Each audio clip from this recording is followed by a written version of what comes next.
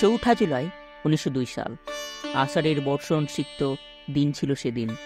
ঘন মেঘে আধার হয়েছিল চারিদিক। রোজের মতোই ভোরবেলা ঘুম ভেঙেছিল স্বামীজির। উঠে নিত্যকর্ম সেরে বেলুর মঠের প্রার্থনা গৃহে ধ্যানে বসেছিলেন। টানা তিন ঘণ্টা পর তাঁর ধ্যান ভঙ্গ হলো। পাতরাস খেয়ে ছাত্রদের নিয়ে পড়াতে বসলেন স্বামীজি। ব্যাকরণ, দর্শন, বেদ পড়াতে পড়াতে বেলা হলো। স্বামীজি প্রেমানন্দকে ডেকে নিয়ে গঙ্গা ধারে পায়চারি করতে করতে দরকারি কার্যক্রমের কথা আলোচনা করলেন। রামকৃষ্ণর মঠের ভবিষ্যৎ পরিকল্পনা প্রসঙ্গেও কিছু জরুরি নির্দেশও দিলেন।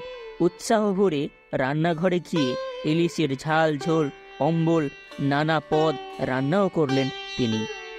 তারপর গুরু ভাইদের সঙ্গে বসে বেশ খুশি মনে খেলেন মধ্যাহ্নভোজ। দুপুরের বিশ্রাম নেওয়ার অভ্যাস ছিল না তার।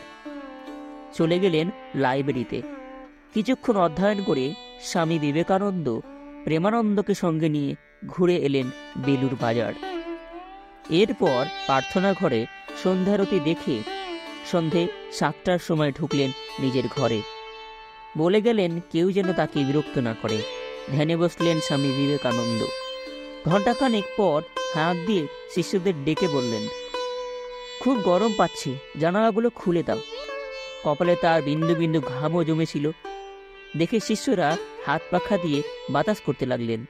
সেই ধ্যান আর ভাঙল না। স্বামীজি শুয়ে পড়লেন। মুখ থেকে কান্নার মতো একটা শব্দ বেরোলো। মাথা গড়িয়ে পড়ল বালিশ থেকে। মুখে লেগে রইল তৃপ্তির হাসি। রাত নটা দশে অমৃত লোকে পাড়ি দিলেন এই বীর সন্ন্যাসী, স্বামী বিবেকানন্দ। শিষ্যরা প্রথমে বুঝতে পারেননি ভেবেছিলেন ভাব সমাধি হয়েছে। তার জ্ঞান ফেরাতে রামকৃষ্ণের নাম গান করতে লাগলেন অনেকেই। তারা ভাবতেই পারছিলেন না স্বামীজি মহাপ্রয়াণ হয়েছে। খবর দেওয়া হয়েছিল ডাক্তারবাবুকেও। বেলুর থেকে এসেছিল ডাক্তার মহেন্দ্র মজুমদার। ডাক্তার বৈকুণ্ঠনাথ সান্যাল। শেষ রক্ষার হলো না, তাদের চেষ্টাও ব্যর্থ হলো, কারণ তার আগেই যে স্বামীজি দেহ রেখেছেন। ডেথ সার্টিফিকেটে লেখা হলো, মস্তিষ্কে রক্তক্ষরণজনিত কারণে মৃত্যু। আবার ম্যাসিভ হার্ট অ্যাটাকও নাকি হয়েছিল। শিষ্যরা মনে করেছিলেন, স্বামীজির ধ্যান এতটাই গভীরে পৌঁছেছিল যে ব্রহ্মতালু ফেটে গিয়েছিল।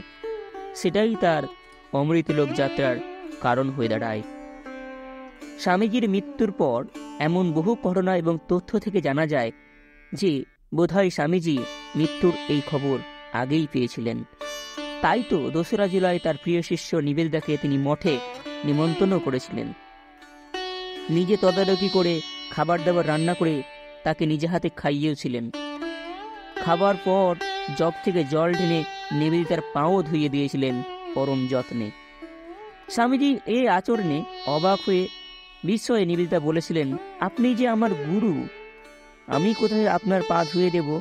কিন্তু আপনি কেন আমার পা ধুয়ে দিলেন? স্বামীজি বলেছিলেন, কেন?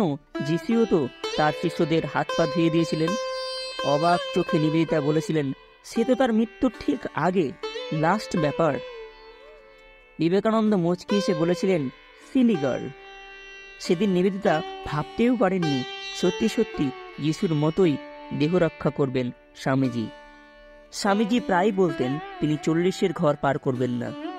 হলেও তাই উনচল্লিশ বছর, পাঁচ মাস, পঁচিশ দিন বয়সে তিনি পাড়ি দিলেন অমৃতধামে। আজকের এই স্বামীজির জন্মবার্ষিকী উপলক্ষে আমাদের আজকের এই উপস্থাপনা। আশা করি আজকের এই উপস্থাপনা আপনাদের ভালো লেগেছে। যদি ভালো লেগেই থাকে, তাহলে এই ভিডিওকে একটা লাইক করবেন এবং নতুন হয়ে থাকলে চ্যানেলটি সাবস্ক্রাইব করে পাশে জুড়ে থাকবেন। আশা রাখি এইরকমই ঐতিহাসিকমূলক মনীষীদের জীবন কাহিনী নিয়ে আমাদের এই চ্যানেলে আবার আপনার সাথে দেখা হবে। ততক্ষণ ভালো থাকুন এবং সুস্থ থাকুন।